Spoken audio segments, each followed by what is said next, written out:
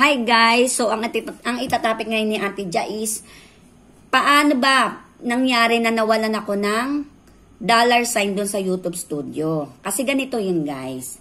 Noong August 26, na-reach ko na yung YouTube threshold. Pagka-reach ko ng YouTube threshold, done na ako sa step 1. Kasi step 1, step 2, step 3 yung guys. So, tatlong step yun bago ka ma-review. Una, pangalawa, kailangan mong i-fix yun. Kailangan mag-done yun, hindi error. So, ang ginawa ko, dahil sa step 2 na tayo, error tayo sa AdSense account, meron na raw akong existing AdSense account.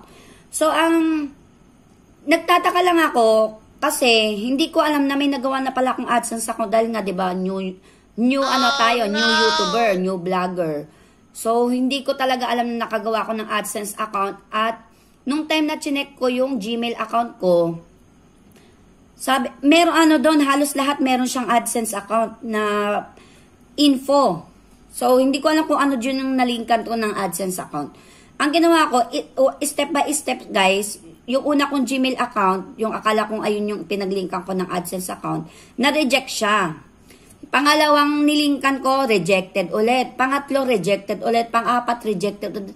Panglima, rejected ulit guys. Pang-anim, rejected ulit. So, ang ginawa ko, hindi ko na talaga alam gagawin ko pala guys. Sabi ko, bakit ganun lahat rejected? Lahat may already have an existing AdSense account. Tapos, parehas lang, pare-parehas lang kasi yung Gmail ko yung unahan, eh, yung mali ko, yung letters niya, pare-parehas sa unahan. So, ginawa ko, close ko na lang yung pitong yon Yung pito na yon na, minake sure ko na talagang walang nakalink na YouTube no sa Gmail ko na yon Tapos, minake sure ko na naka-close payment profile. Tapos, pagkatapos nun guys, kinabukasan, di ba na-close ko na siya, yung pitong yon Actually, ano, hindi ko alam kung alin dun yung nagawa ko ng AdSense account eh. Wala talaga akong idea kung ano yung nagawa ko dun. Ginawa ko, di ba, na-close ko na siya. Kinabukasan, na-check ako ng YouTube studio ko.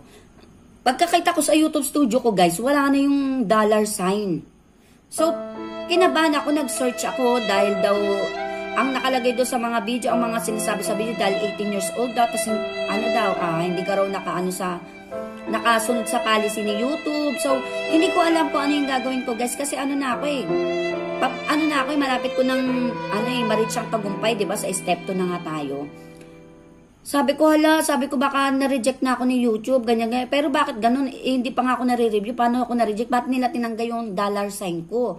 Ba't nawawala yung dollar sign ko? So, hindi ko talaga alam yung gagawin ko yun, guys, na wala talaga as in. Ang, na, ang natira na lang doon is yung bilog. Yung ano, yung public, public na lang, naka-public na siya, wala na yung dollar sign. Ginawa ko, pinagpahinga ko, sabi ko mga isang linggo ulit, baka siguro dahil link ako ng link ng mga AdSense account ko before, tas isa lang din yung ini-email sa akin ni YouTube na meron daw akong existing AdSense account, pinagpahinga ko siya ng one week. Hindi hindi ako hindi ko pinakailaman yung step 2. Pinabayaan ko lang siyang naka-error. Tapos napag-isip-isip ko, sabi ko, da, ano kaya si ate, uh, paggawan ko kaya siya ng Gmail na details niya yung nakalagay. Pangalan niya, address niya, tsaka yung contact number niya ang ilagay niya. Huwag niyo sa akin. Baka dahil doon, ayun talaga yung thinking ko na baka ayaw tanggapin yung name ko, yung address ko dito sa UAE kasi nasa UAE ako. Tsaka yung number ko kasi isa lang yung mga number ko doon, tsaka isa lang yung address ng mga ginawa ko doon sa may Gmail ko.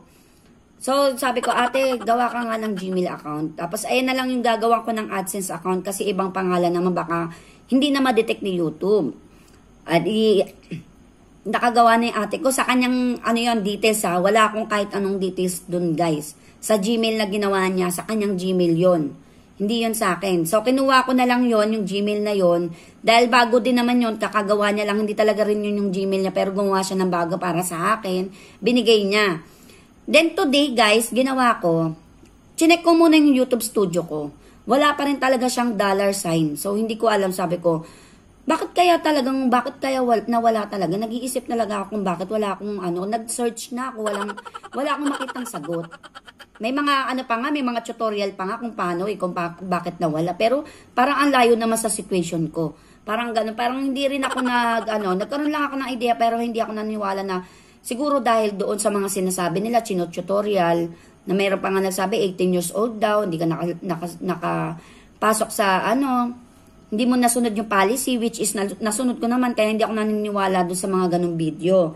Sa akin, para sa akin guys ha, kasi alam ko sa sarili ko eh, Then, pagkatapos ko siyang mailink sa Gmail account ng kapatid ko, so ginawan ko na rin siya ng AdSense. Tapos mga 5 minutes lang guys, uh, yung step 2 ko na error, naging ano na siya, naging done na.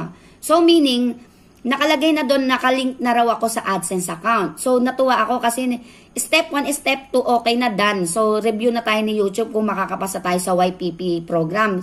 Sa YouTube, partner program. So hintay na lang tayo ng step 3 kung ano yung magiging resulta, kung malalagyan pa tayo ng ads or hindi. So ayun na nga, nalink ko na siya sa ano sa sa AdSense account ng kapatid ko. Tapos maya-maya naisip ko, check ko kaya yung YouTube studio ko kung meron ng dollar sign. Yung pagka-check ko sa YouTube studio ko, guys, meron na siyang dollar sign. So, ayun lang pala yun, guys. Na-close ko lang na-close ko lang pala yung ano yung AdSense account ko kung bakit kung bakit nawala yung AdSense account ko, guys. Ay yung dollar sign ko kasi na-close ko yung payment profile niya ng ng AdSense account na napaglinkan ko ng ano na ay, yung Gmail ko na napaglinkan ko ng AdSense account na i-close ko din pala siya doon. Kasi 'di ba pito 'yon pito yung Gmail ko so close ko lahat ng payment profile niyon. So isa siguro doon ang meron akong AdSense account so hindi ko na siya na ano hindi ko na siya na i-link kasi nga laging rejected. So napaisip ako na gawa kaya ako ng video sabi ko baka same kami ng situation kung sino man yung makakapanood nito Baka kaya siguro dahil din nawala yung dollar sign doon sa YouTube studio nyo is dahil na i-close nyo yung existing AdSense account na nagawa nyo. So, yun lang naman yun guys, ang naging experience ko guys ha, based to sa experience ko. So, hindi ko sinasabi na same tayo ng situation, pero ito po yung ito po yung naging kasagutan sa tanong sa mga ilang tanong ko before kung bakit nawala. So, yun lang. Pero guys, kung meron kayong kung talagang tandaan nyo pa yung existing account. Kasi pag may dollar sign yan, guys, matik, ibig, sabi, ibig pong sabihin yan, meron na kayong existing AdSense account. Automatic na po yun, guys, kapag ang YouTube Studio nyo is may dollar sign. So, aalamin nyo na lang siya, guys, kung saang Gmail nyo siya nilink yung ginawa nyong AdSense account na yon. So, mas mabuti guys kung talagang details nyo ang ilalagay nyo kasi importante yun eh. Kailangan talaga details nyo kasi 'di ba? Hindi natin masabi, 'di ba? Kung kumita man tayo sa YouTube, mas maganda kung details nyo. Pero kung hindi nyo talaga siya matandaan, gawin nyo, close nyo na lang lahat ng payment profile niya, then ilink nyo na lang siya sa mapagkakatawalaan katulad ng sister nyo, asawa nyo kung meron po kayo, mama at papa nyo kung meron po kayo, basta yung mga malalapit sa inyo na talagang mapagkakatiwalaan. So, sa akin kasi, kapatid ko na lang kasi nga, lagi ngang rejected yung apply natin sa step 2. Pero, nung time na yung kapatid ko, na details na ng kapatid ko, okay lang din naman kasi sister ko naman siya. Che-check na lang natin kung pwede pa siyang baguhin kapag once na na-approve tayo sa step 3. Kung pwede pang baguhin yung details ng ating payment profile. So, yun, yun lang naman guys. Siguro dahil nga na-close nyo yung inyong AdSense account, kaya nawala po yung dollar sign. So, kung maililink nyo naman po siya sa, uh, sa bagong AdSense account, babalik po yung dollar sign na yon Katulad ng nangyari sa akin today, bumalik yung dollar sign niya. So, hintay na lang tayo ng step 3 guys kung ma-approve tayo ni YouTube, kung malalagyan po tayo ng ads, kung kikita ba si Auntie Ja. So, update ko na lang kayo guys kung ano yung magiging journey ko sa pag apply natin ng ating YouTube, um, ng ating YouTube partner program. Sana ma-approve guys. So, yun lang naman guys. Thank you sa pakikinig. Sana nakatulong si Auntie Ja sa inyo. Bye!